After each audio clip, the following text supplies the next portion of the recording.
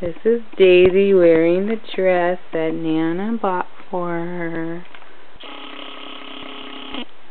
She likes photo shoots.